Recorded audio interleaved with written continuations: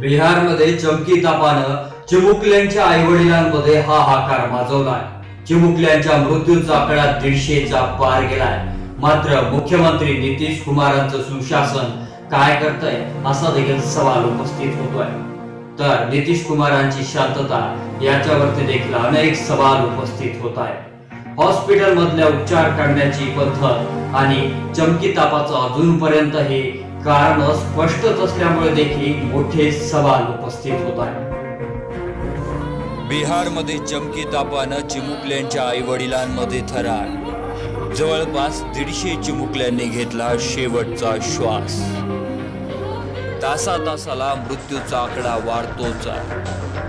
हॉस्पिटलमधल्या सुविधा आणि प्रशासनाचा कारभार चव्हाट्यावर. दिल्लीतल्या सरकारचे उघडले शंभरच्या वर मृत्यूचा आकडा गेल्यावरती डोळे. केंद्रीय मंत्री हर्षवर्धन यांनी देखाव्यासाठी हॉस्पिटलमध्ये येऊन केली पाहणी. अजूनही उपचारामध्ये मात्र सुधारणा झालेली नाही. या माऊल्यांचा आक्रोश आणि दवाखान्याच्या मृत्यूखान्याने देशाला सुन्न केलंय. चमकी तापाचं कारण मात्र अजूनही अस्पष्टच आहे. या चमकी तापाचं कारण शोधण्याचं मोठं आवाहन प्रशासनासमोर उभं आहे. तर मुख्यमंत्री नितीश कुमार यांची शांतता आता त्यांच्या सुशासनावरही अनेक सवाल उपस्थित करते. मराठा वादळ न्यूज मीडिया ब्युरो